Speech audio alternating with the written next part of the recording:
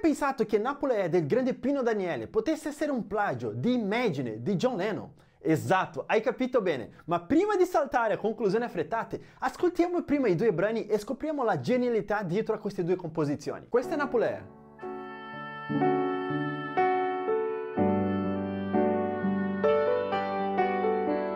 Ok, ora ascoltiamo invece Imagine di John Lennon.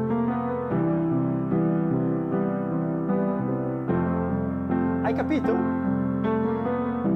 Allora, ora che cosa c'è in comune tra questi due? Te lo mostro, guarda. Quando abbiamo la progressione Do che va verso Fa maggiore, nel caso di, di John Lennon, oppure Re maggiore con la settima maggiore che va a Sol con la settima maggiore, in realtà loro stanno usando un concetto che io chiamo di figurine musicali. Esattamente, in realtà non è che devi imparare una canzone sempre pensando alle accordi Re, Sol o Do e Fa, ma capire il segreto dietro, cioè riconoscere la sensazione che questi due accordi qua ti danno. Ed è esattamente la stessa sensazione che Pino Daniele ha usato portarci la sua genialità su Napoli è la stessa anche che John Lennon ha usato. E se vuoi scoprire esattamente come è il loro segreto e non solo dipendere dalle spartite online, guarda la lezione che è uscita, la numero 6 della maratona pianistica. Il link è nella bio.